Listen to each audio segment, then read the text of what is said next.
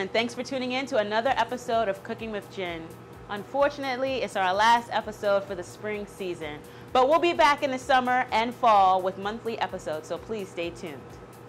On today's episode, we're talking cheese with our very special guest, Brooklyn based cheesemonger Pam Brewer. On today's menu, we have a cheese platter with Jin's Membrillo.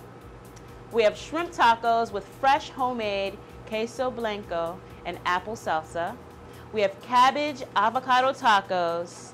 And for dessert, goat cheese cheesecake with my very own blackberry tarragon glaze. So now I'm excited to welcome our special guest today, Pam Brewer, cheesemonger, cook, and good times maker. Come on over. Welcome. Thank you. How are you? Good. Thanks for being a part of the show today. so I'm very excited for our very cheesy episode, be good. and don't be afraid to be extra cheesy and funny today. I, I, I never would hesitate with you, Don't worry about that. Excellent. So we're gonna start with a goat cheese cheesecake, Indeed. and most people don't really do it with goat cheese. They just strictly do it with cream cheese, but we're mm-hmm. adding a little flavor today. So. Exactly. let's get started. What do we do first? The first step is starting with the crust, um, mm-hmm. because that's going to bake off for a few minutes before while we get the filling ready. Mm-hmm. Um, so we have our graham crackers and some butter. It's pretty simple. So what we're gonna do is we're gonna put it in the food processor, just break them up a little bit. Yeah, we want to get nice, even crumbs. Okay, and this is gonna be like a little powder. Indeed. Okay. And we're gonna use what, two packs? I think so. That should be. We have a fairly big spring form pan here, uh, so I think that'll be a good amount. Two packages worth. And traditionally, when you make cheesecake, you use a springform pan, right? Yeah, springform pan has these sides that release very easily, um, and because cheesecake is a little bit delicate, uh, you need something you want to be able to lift it out of the pan uh, and still have it be nice and pretty and intact. Got it. All right, so we're gonna make our graham cracker crust.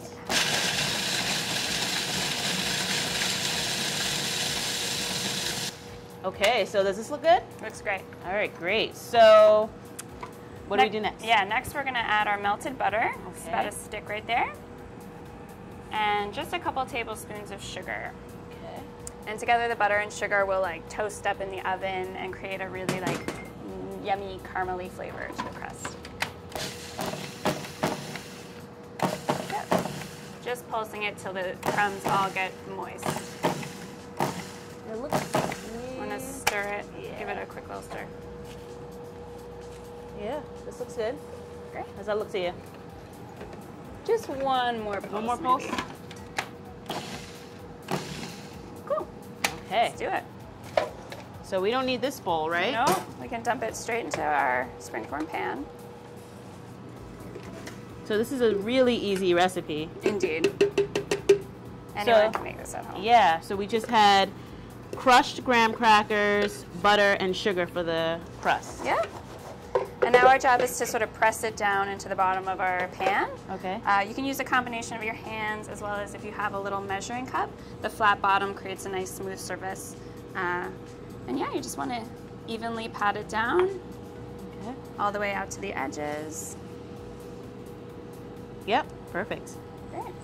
So the next step is we're gonna make the cream cheese filling. Yeah, we're going to pop this in the oven uh, at 400 degrees for 10 minutes. Okay. Uh, to bake it off just for a little bit. Okay. Um, and again, that'll get it nice and toasty and crunchy, and we'll get the filling ready in the meantime. Excellent. All right, so the crust is in the oven, Mm-hmm. so we're gonna go ahead and make the filling. Indeed. So what do we have to do? Uh, first, we're going to cream our cheeses together. Okay. We have both regular cream cheese you can find in the supermarket, as well as our goat cheese. The French would call it chèvre or chèvre, uh, or you can call it goat cheese. All of these work. Okay. And I know you have your hand blender. Yes. Perfect tool to get a nice, smooth, even consistency.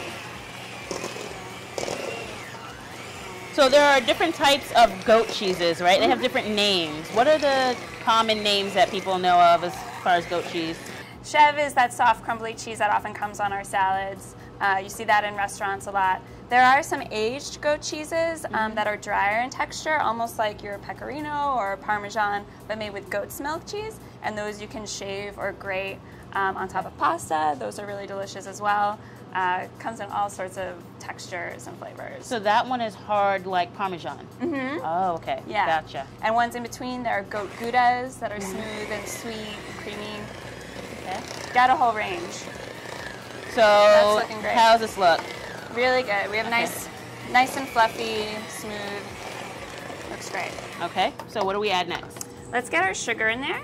Okay. Get our sugar incorporated. We have a cup. Cup of sugar. Yeah. And I'll start adding in the eggs. And so we're gonna add the eggs one at a time Indeed. to make sure that it's incorporated. Mm-hmm. Okay. You got it. So I'm gonna be honest with you. In general, I don't really like cheesecake. Really? yeah. But I love goat cheese. It is Okay. my favorite cheese. Um, what is your problem with goat, with uh, cheesecake? It just usually? hasn't. I just never had a really good cheesecake. I don't personally make cheesecakes regularly just because I just don't, don't like them. Uh-huh. And all the cheesecakes I ever had, I just did not like the flavor. Okay. Uh, well, I think this is going to be good because the goat cheese gives it sort of a savory uh, complexity that you don't get with t- typical with uh, you know your standard New York style cheesecakes. Yeah, I'm not gonna Um, name names of famous cheesecake restaurants, but I don't like their cheesecake. oh, I think I know who you're talking about. Um, but yeah, this will be a little something uh, different than what we're used to, and of course, we're going to be putting your jam on it oh later. so yeah. Well, you know, my jam makes everything better. I believe it. We have a little bit of lemon juice here. Okay. We'll add again to give sort of a acidic, tangy counterpoint to all the like richness and all the sweetness uh, that's otherwise in our cheesecake. And I know we have Jin Special Vanilla Extract, Oh, homemade yes. using fresh vanilla beans. So we're gonna about do about a teaspoon or so of that as well. Maybe a teaspoon and a half.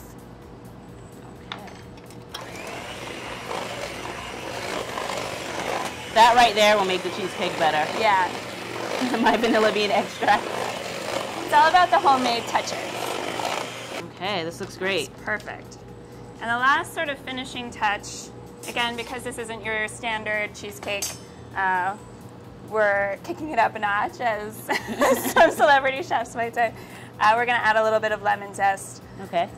It'll bring out, um, again, the tanginess of the goat cheese and just be another, another layer of flavor to our, to our cheesecake. That looks like about a teaspoon, which I think will be perfect. Yeah.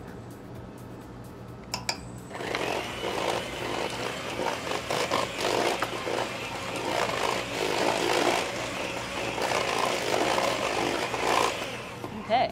So this is it, right? Yep. So again, we have goat cheese, cream cheese, Mhm. vanilla, sugar, lemon juice, and lemon zest. Indeed. That's you got it? it. Okay. Yeah. Wow, that's very simple. So we just grabbed the um, crust out of the oven, Yep. and now It's we're gonna get off a ready. little bit? Yeah, it's cooled off a little bit, and we're gonna go ahead and just pour this right in there. Okay. So let's grab that. Already smelling nice and toasty. Oh yeah. and So I just pour it right yep, on top. just go for it. Very simple. Not too many ways you can screw up a cheesecake that I know of. So silky, smooth. Yes. It smells good. See, I, I, I think I'm gonna love this. I think you're gonna like it too. And you may not know this, but goat cheese actually has a higher protein content than Oh. cream cheese. So we're making something like a little bit healthier than your typical uh, typical cheesecake. excellent because I'm on a mission to slim down and get even sexier. I didn't know that was Uh, possible. yeah. I know. You know, there's always room for improvement, no matter what. So this will definitely be a nice little addition to think it'll be my plan of eating well. Great.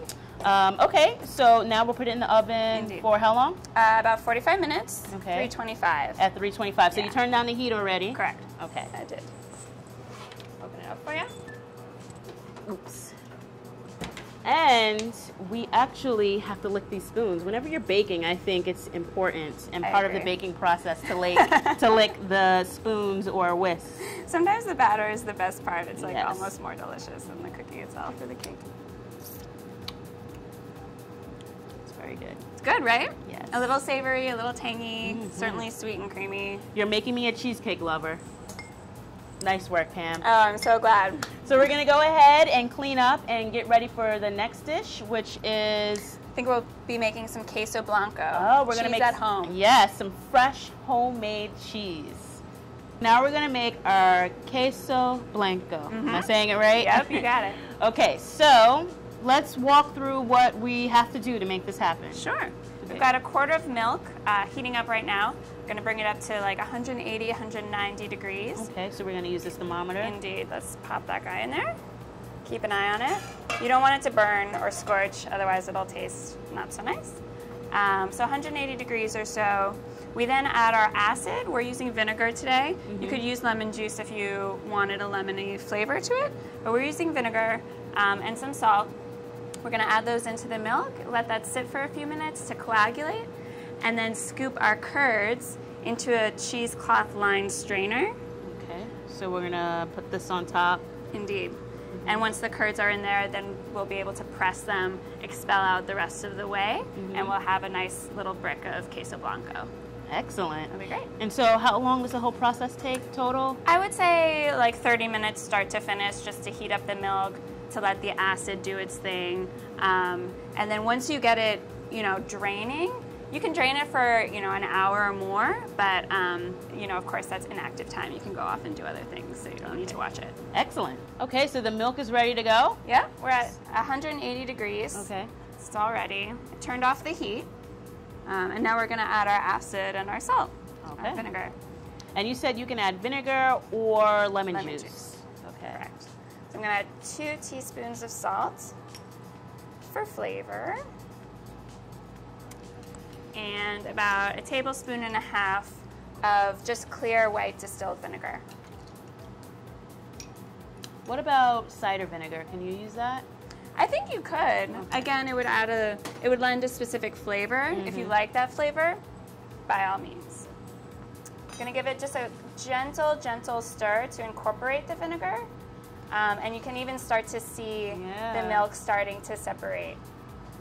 So we have the curds. The acid is gonna uh, bring the curds together, which is the solids of the milk, the protein and the fat. Um, that becomes our curds, which we'll press and become our cheese. Uh, and then the watery part is the whey. Um, and you'll see that milk is in fact mostly water, so we'll have a lot of whey at the end of our cheese making process. Okay, excellent. All right, so we'll go ahead and put the lid back on. Sure, we can let this sit for 10 minutes undisturbed. So our cheese is ready to go. Yeah. So we're gonna, let me get the bowl for you. Get this set it. This Awesome. set. Yeah, we're gonna take our cheesecloth in, I guess, four layers. That looks about right. Mm-hmm. Put it onto our strainer. And you can see we have the uh, curds, the solid part of the milk has come together, and the whey is clear. It's a little yellow in color, but it's totally clear, which means we have full coagulation of our milk. Excellent. The That's experiment exactly worked. Yes. Just so you just the scoop it out. Yeah, it just sort of looks like a very, very soft tofu or just, um, you know, just barely cooked egg whites. That's the Yeah, texture that's what I was that thinking. we're. And the whey, incidentally, still has lots of nutrients in it and actually tastes quite good. Um, some people will actually drink it kind of as, or add it to smoothies Oh. uh, as sort of an energy, energy drink. All natural well, I mean, it's the same thing in those protein powders, Yep, right? It's the whey same protein. thing, and this is unprocessed because the protein powders are processed. Yep. So this is an all-natural way that you can bottle, put it in the fridge, and just pour it in your shakes. You got it. Look at that, multi-purpose. Don't Yeah, waste anything. Don't waste anything. I've used the whey also in baking bread. So Mm-hmm. if you hold on, and then of course, you know, it just lends a very subtle but pleasant flavor to whatever bread you're making. So we're gonna press this. It's gonna be a solid ball, and then when we make our tacos later, we're just gonna grab it and just crumble it on top. You got it. All right. So I think we're good. We can probably transfer it over here. Okay, so you can just put it right here on top. And you can see even just from that little bit um, of cheese, we've gotten even more. Oh, yeah. here. And like I said, it's a little yellow in color, but totally clear, which is what, what we want. Put this on top. And then we're going to put the plate on top. Mm-hmm. And then some we'll- nice weights. So we're going to add some peach mint jam jars and blackberry tarragon jam jars. I think that would be the down. perfect thing to expel Yeah. any lingering moisture in our cheese. Hey, it's taco time, taco party. We're gonna make some shrimp tacos and cabbage and avocado tacos. Yum. So what we'll start with is we're gonna marinate our shrimp. So these are deshelled, deveined, and detailed. So we'll just put it in this All plate clean. here. Yeah, nice and clean. Great. And here are our um, spices. We've got some cumin. Yum. We have some paprika. And uh, some ground uh, chili pepper. So you could take the spoon and kind of like mix it all up. Perfect. And we're gonna add some freshly squeezed lime juice in here. And we're just gonna let it marinate for about 10 to 15 minutes. Once this is done marinating, we'll just put it on the skillet and just cook them for about three minutes, and it'll be ready for our tacos. Smells delicious already. Oh yeah. So now, while we wait for that, we can go ahead and start on our apple salsa. So these tacos are gonna have the um, sautéed shrimp. We're gonna put a little bit of fresh apple salsa, and then our homemade queso blanco Yeah. on top. Sprinkle it on top. So we'll go ahead and just get this chopped. So for the salsa, it's very, very simple. We're gonna use some apples, honey, lime juice, some red onion, red bell pepper, and jalapeno and cilantro. So let's go ahead and start chopping this up. Can I ask what uh, gave you the idea to do an apple salsa? Um, I, you know, it just stood out to me. It's spring. Apples are all over the place. This is in an apple state in New York. So this is a time of year where I eat lots and lots of apples, and they're just always sitting on my table. So this season we've actually used a lot of apples in our recipes, and I just thought it would be a really nice flavor um, for the shrimp and the fresh cheese. Yeah, it's gonna be delicious. Um, and I really wanted to do something fruit. Everyone does mango, but mango isn't local. Yeah, So I wanted to stick with the local theme. Um, Absolutely. so we were talking about. Oh, we're gonna dice these, by the way. Okay. we were talking earlier about um, the different types of cheeses. Mhm. Um, we were talking about mozzarella. One of our uh, crew were asking you a bunch of questions. Yeah. About mozzarella and ricotta. Ricotta, yeah. How do you make those? And Yeah. Can you talk a little bit about homemade Totally. cheese? Yeah. So the the reason ricotta is called ricotta that was sort of one thing that came Yeah. up uh, when we were just chatting. Um, it means recooked in Italian. And basically, what the Italians did, the very resourceful cheesemakers that they are, uh, when they would make their rennet-based cheeses, the whey would drain off, and they realized that there was still a lot of good stuff in that whey. So they would recook that whey with the lemon juice or the vinegar, and the acid would then coagulate all the remaining solids in the whey, um, and they would make this new cheese, ricotta, and then the whey would be completely drained of anything that was still in there. Um, that way, they would just maximize all that was contained within the milk. So, waste not, want not. Excellent. That's Um, great. and then with mozzarella, it's a little bit more complicated if you're going to be starting from milk. You would need to order some special cultures um, and rennet online Mm-hmm. or at you know a fancy cheese shop if you live near one.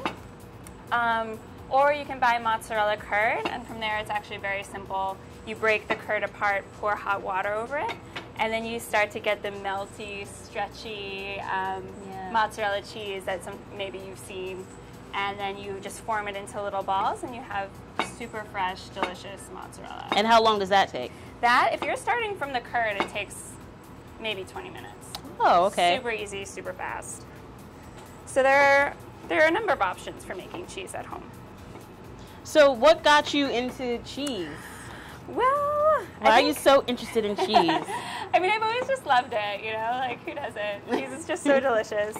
Um, and I've always just been into food generally.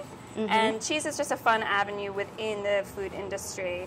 Um, we're a fun loving bunch. and I had just very serendipitously run into a cheesemonger job when I was in college. And it just sort of, uh, it was a formative experience for me and has led to a career. wow. So, tell us about your career. Tell us about your business. You do private cheese parties? Yes. So I've been a cheesemonger in the city now for a few years, working at shops around around town. Um, but now I'm a freelancer and I host guided cheese tastings um, or cheese parties for private groups. Um, so if there's ever an occasion that you think would be enhanced with cheese, or just want to learn more about cheese, um, that's what I do. That's my specialty.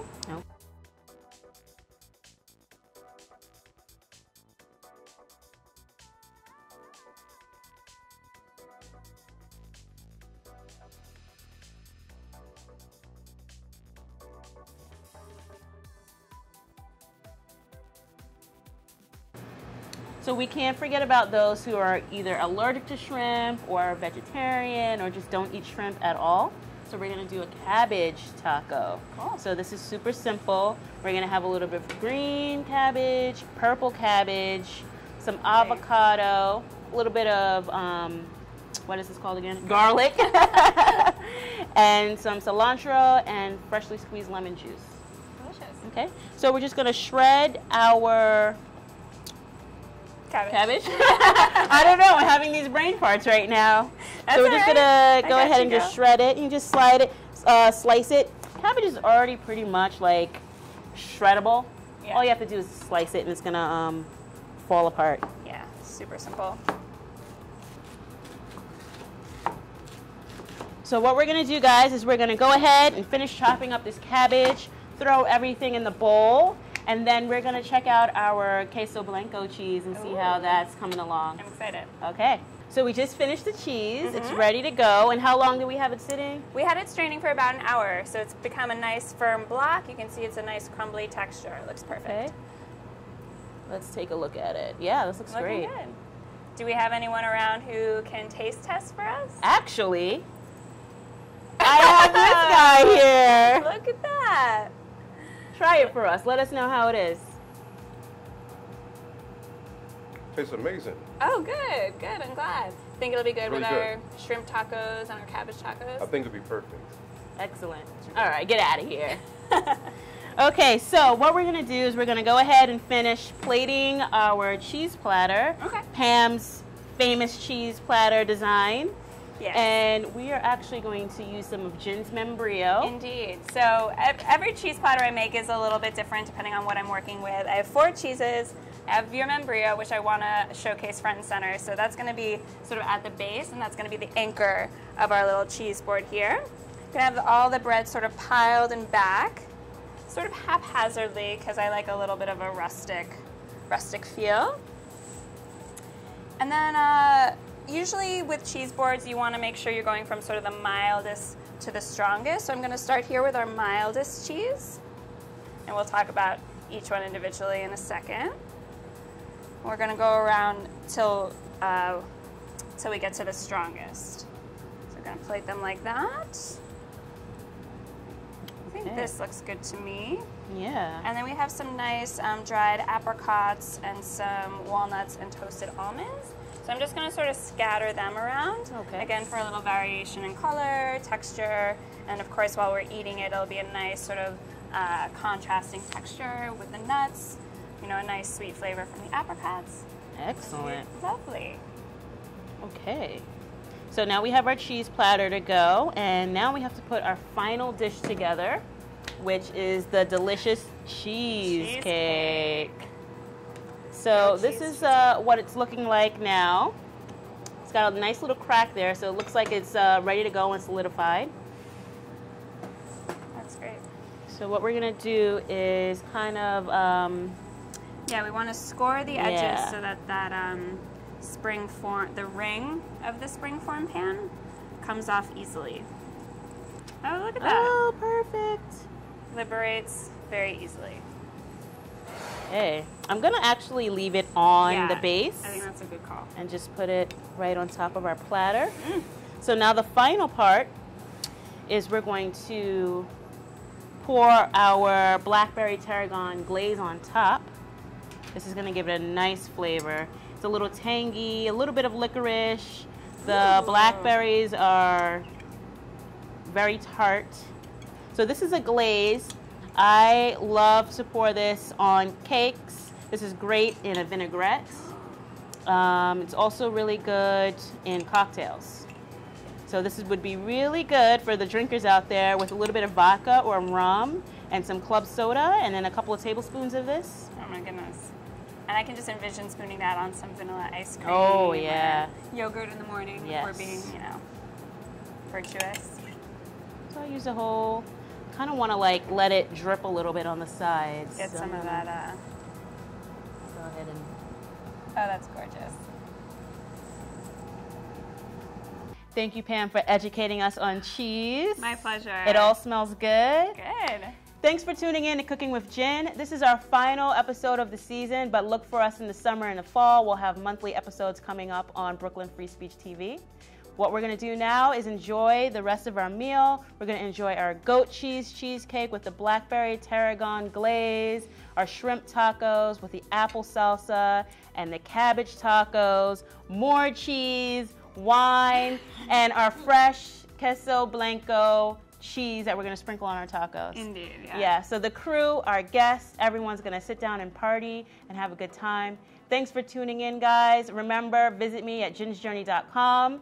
And remember, I'm everywhere Instagram, Facebook, Twitter, Tumblr, everywhere. And Pam, where can they find you? pambrewerkitchen.com or just email me directly at pambrewerkitchen at gmail.com or on Feastly, eatfeastly.com, and you'll find me. And what's that slogan again? I am a cook, cheesemonger, and good times maker. That's right. We're having a good time, right, everyone? Yes. Everyone's This is what I enjoying their love to do. cheese. Yeah. Well, thanks again for tuning in. And until next time, guys, peace.